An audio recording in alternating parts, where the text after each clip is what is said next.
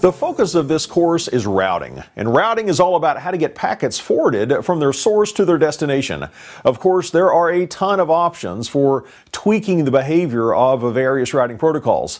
And this module begins by identifying the different pieces making up an enterprise network, and that's followed by a look at major routing protocols and the operation of IP and TCP.